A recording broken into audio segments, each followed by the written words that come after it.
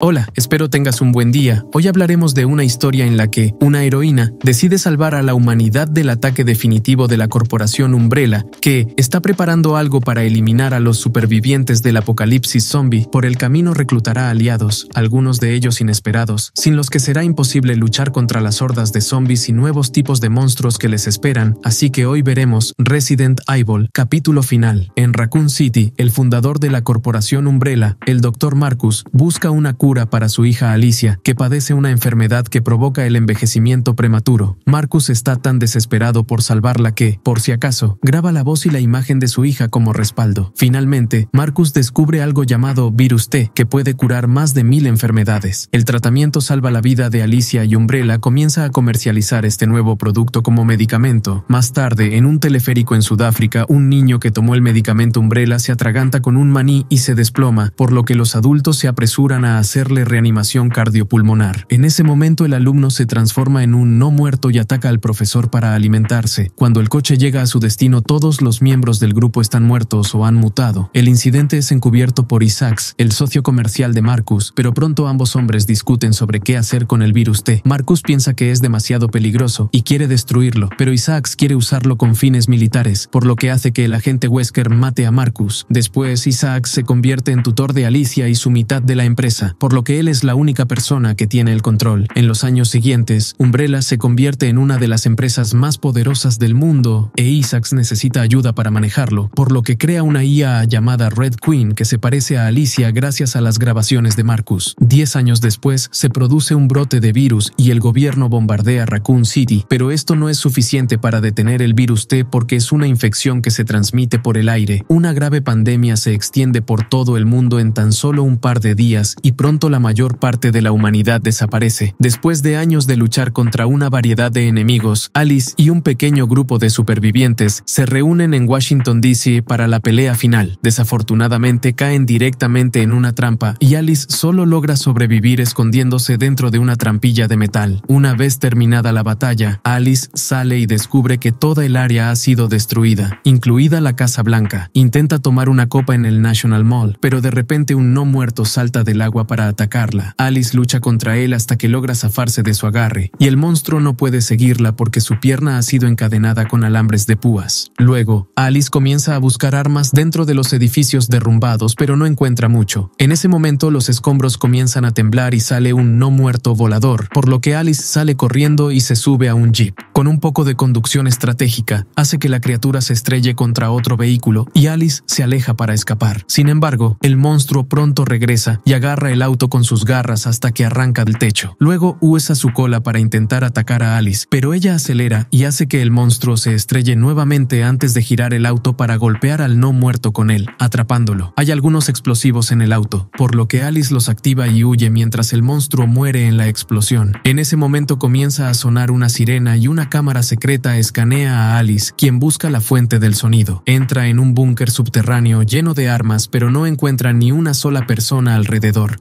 De repente, una máquina de fax comienza a enviar un mensaje que dice Hola Alice, una y otra vez, y las pantallas se encienden para mostrar a la Reina Roja, quien afirma que ahora está trabajando contra Umbrella y quiere que Alice la detenga. Su conversación es interrumpida por otro no muerto, pero gracias a la advertencia de la Reina, Alice derrota a la bestia decapitándola con solo unos pocos movimientos rápidos. Luego, la Reina Roja explica que a la humanidad solo le quedan 48 horas, por lo que Alice tiene que regresar a Raccoon City y entrar al laboratorio principal de Umbrella conocido como The Hive. Allí encontrará un antídoto en el aire que destruirá el virus T y todo lo que ha infectado al contacto. Luego, Alice toma un auto nuevo y se dirige a Raccoon City. En medio de la carretera, atraviesa una barricada que destroza los neumáticos y hace que el auto se estrelle, pero afortunadamente Alice encuentra una motocicleta Umbrella cerca. Cuando intenta acercarse, un soldado salta de entre los escombros y la hace retroceder, provocando que pise una trampa que la cuelga boca abajo. Aparecen más soldados y comienzan a golpearla, pero Alice se ríe y comienza a luchar contra ellos mientras todavía está colgada.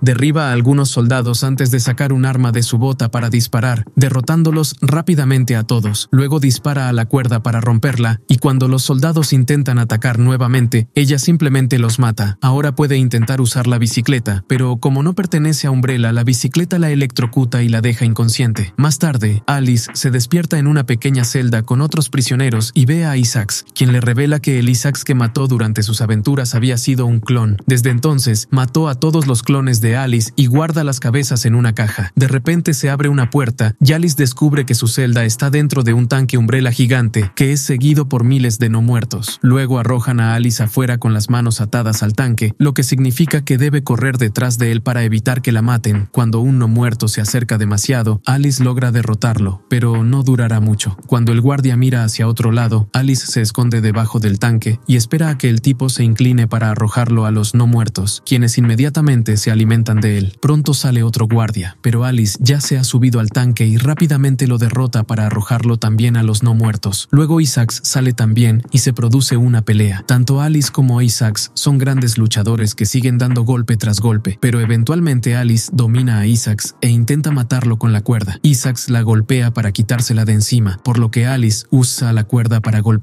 su cabeza contra el tanque. Los no muertos también intentan atacar a Alice, pero ella los derrota con algunos movimientos rápidos antes de que Isaacs la arrastre hacia atrás para continuar la pelea. Después de intercambiar algunos golpes más, Alice agarra a Isaacs asfixiándolo y lo obliga a liberarla de las esposas. Isaacs lo hace y la ataca de nuevo, pero Alice tiene la ventaja y casi lo mata hasta que otro tanque abre fuego contra ellos. En ese momento se da cuenta de que hay una moto umbrella dentro del tanque, por lo que le corta la mano a Isaacs y la usa para activar la moto y escapar. El conductor Lee usa las torretas y los misiles del tanque para intentar eliminarla, pero Alice esquiva todos sus disparos y escapa con éxito. Unas horas más tarde, Alice finalmente llega a Raccoon City, que tiene un enorme pozo en el medio. Mientras conduce por la calle, una luz parpadea desde arriba para cegarla y un poste se derrumba, destruyendo su motocicleta y dejándola inconsciente. Cuando se despierta encuentra a un hombre llamado Doc tratando de darle una inyección, por lo que rápidamente lo detiene y lo toma como rehén mientras un grupo de personas aparecen con armas. Cuando están a punto de matarla, la vieja amiga de Alice, Claire, aparece y les dice a todos que Alice está de su lado. El grupo sube al techo y nota que Isaac se acerca con dos tanques y su ejército de no muertos, por lo que necesitan hacer un plan, pero de repente Alice comienza a toser y colapsa. Afortunadamente, Doc tiene algunos medicamentos para tratarla y, una vez que se recupera, Alice acepta ayudar al grupo a defender su fortaleza del ataque de Isaacs, a cambio de que la ayuden a encontrar el antídoto más tarde. No tienen muchas armas, pero sí toneladas de gasolina, por lo que construyen unas cuantas catapultas para usarla en consecuencia. Cuando cae la noche, finalmente llegan Isaacs y su ejército. El equipo catapulta un proyectil en llamas y destruye uno de los tanques, por lo que Isaacs detiene el otro y ordena a sus soldados que envíen el cebo. Una sobreviviente es liberada del tanque y los no muertos comienzan a perseguirla, por lo que Alice le abre el edificio mientras los demás derriban a los no muertos con balas y otro proyectil en llamas. Cuando la superviviente está a punto de llegar a la puerta, el tanque dispara para matarla y algunos de los no muertos entran antes de que puedan cerrar la puerta. Doc y Claire hacen todo lo posible para luchar contra los no muertos, pero Isaacs hace que Lee dispare a la puerta y la explosión aleja a la pareja. El resto del equipo lanza piedras desde arriba para aplastarlos, pero luego Lee dispara las torretas en el techo donde está el equipo para detener cualquier otra trampa que hayan preparado. En el piso inferior, el equipo hace todo lo posible para evitar que los no muertos crucen la barrera se produce una lucha feroz cuando el grupo mata monstruo tras monstruo, pero pronto uno de sus guerreros es mordido y asesinado. Saben que la barricada no resistirá por mucho más tiempo, por lo que el grupo corre escaleras arriba para verter toda la gasolina y encenderla con algunas antorchas, lo que incinera a todos los no muertos que se encuentran debajo. Luego, Alice se lanza al suelo y comienza a derribar zombies mientras se dirige al tanque. Le intenta abrir fuego contra ella, pero Alice permanece escondida y se cuela en la parte superior del tanque, donde vierte gasolina gasolina en el respiradero y lo enciende para crear enormes llamas en el interior. El tanque se detiene repentinamente y un soldado abre la escotilla, pero Alice rápidamente le dispara. Entonces Liz sale y comienza a luchar cuerpo a cuerpo con ella, empujándola fuera del tanque con una patada. Continúan luchando en el suelo y Lee domina fácilmente a Alice, ganando la batalla. Sin embargo, un no muerto aparece detrás de él y mientras Lee está ocupado luchando contra él, Alice lo derriba. Luego entra al tanque, donde rápidamente derrota a otro no muerto antes de encontrar dos supervivientes más, pero no a Isaacs. Cuando ella sale, su equipo aparece mientras matan más monstruos y capturan a Lee, a quien atan al tanque y lo envían corriendo como cebo para los no muertos. Luego el equipo nota que dos ejércitos más se acercan a la ciudad, por lo que deciden correr a la colmena para encontrar la cura. Los dos supervivientes del tanque saben a dónde van y deciden acompañarlos. La mejor manera de acceder a Hive es a través del pozo, por lo que el equipo comienza a bajar sin saber que Isaacs los está observando desde lejos y Wesker puede verlos acercarse gracias al sistema de seguridad de la Reina Roja. Cuando el grupo llega al fondo del pozo, están rodeados de monstruos parecidos a perros. El equipo huye mientras intenta disparar a las criaturas que las persiguen a través del pozo. Algunos monstruos mueren pero a cambio matan y se alimentan de un miembro del equipo también. Pronto llegan a un acantilado y el grupo salta al agua, por lo que algunos perros también saltan. El grupo inmediatamente se aleja nadando y los perros los siguen, por lo que cuando llegan a la orilla, otro miembro del equipo muere. Cuando toda la horda los alcanza, otra persona cae, pero el resto del grupo corre lo suficientemente rápido como para entrar en un túnel hacia la colmena, donde los perros tienen demasiado miedo para entrar. En ese momento, Wesker ordena a la Reina Roja que selle la entrada, por lo que el grupo se apresura a entrar. Mientras corren por el túnel, Alice es atacada por un no muerto, por lo que lucha lo suficiente para mantenerlo alejado y continúa moviéndose, dejando que la puerta aplasta al monstruo. Luego, la Reina Roja los saluda y les muestra un video de una reunión de Umbrella que ocurrió antes del brote. Isaacs planeó desencadenar el apocalipsis usando el virus T, matando a todos en el planeta, excepto a él mismo y a otros ejecutivos de alto rango de Umbrella, para que pudieran reiniciar la Tierra a su gusto. A la Reina Roja no se le permite dañar a los empleados de Umbrella, por eso necesita la ayuda de Alice. Ella le da un auricular para que puedan seguir comunicándose y le advierte que hay un traidor en el grupo, pero Alice le resta importancia. Mientras tanto, fuera de la ciudad,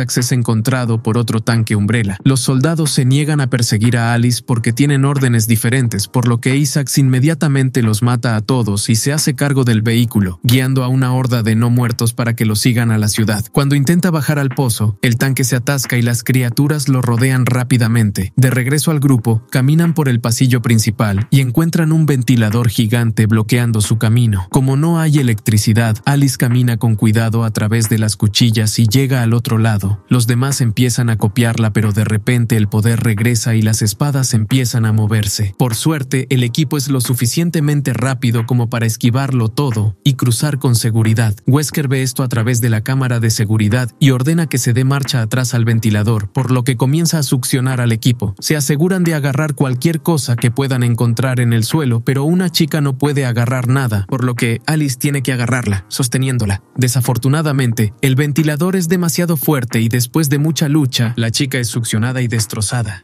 antes de que se corte la luz nuevamente. Luego el grupo se abre camino a través de un respiradero utilizando el mapa digital de Alice. De repente, la energía regresa y una sección del piso se abre, lo que hace que un hombre caiga directamente sobre un pozo. Esta superficie también se abre por lo que se agarra a la puerta para evitar caerse. Sin embargo, la puerta pronto se cierra y se rompe los dedos. El pobre inmediatamente cae y muere en una caverna espeluznante mientras se abren más trampillas para enviar al resto del equipo a algunos túneles. Alice aterriza en un laboratorio oscuro lleno de cuerpos y puede escuchar algo moviéndose en las sombras. En ese momento, un miembro del equipo también cae en esta habitación y comienzan a moverse juntos hasta que un cuerpo se despierta repentinamente para distraer al tipo mientras un segundo monstruo lo mata por detrás. Alice es golpeada en la lucha, pero rápidamente se recupera y dispara a la criatura con ambas armas hasta que cae. El monstruo también se recupera rápidamente y corre para esconderse, vigilando a Alice siguiendo la luz de su linterna. Cuando ve una abertura, ataca de nuevo, lo que hace que se le caiga la linterna. El monstruo sigue la luz, dándole a Alice la oportunidad de arrojarle una cadena. Luego comienza a correr, deteniéndose solo para golpear al monstruo cuando puede. La criatura intenta perseguirla, pero la cadena no es lo suficientemente larga y la mantiene en su lugar mientras Alice le apuñala la cabeza. De repente, una mano asusta a Alice, pero es solo Doc, y juntos salen del laboratorio. En la oficina principal, Wesker despierta al verdadero Isaacs, lo que significa que el que está en el tanque tanque también es un clon. Hablando de ese tanque, Isaacs decide salir y comienza a correr, haciendo que la horda lo siga. Mientras tanto, Claire aterriza dentro de una caja transparente, pero usa la pólvora de una bala para hacer un agujero y escapar, sin saber que Wesker está cerca. De regreso con Alice y Doc, se encuentran con un área peligrosa de la primera aventura y encuentran una bolsa de armas que dejó allí el antiguo equipo. Cuando solo quedan 19 minutos, Alice usa la computadora para activar la plataforma de la habitación, que comienza a descender a través de la colmena. Durante el viaje ven los cuerpos de los altos funcionarios de Umbrella en sueño criogénico, esperando que termine el apocalipsis. Alice, furiosa, saca los explosivos que encontró en la bolsa para tender una trampa. Luego ella y Doc se van. El ascensor para entrar en una extraña caverna. Cruzan rápidamente el puente sobre el agua y llegan a la oficina principal, donde los espera el verdadero Isaacs. Con solo nueve minutos restantes, Isaacs revela que tiene el antídoto y, amenazando con destruirlo, hace que Alice suelte su arma.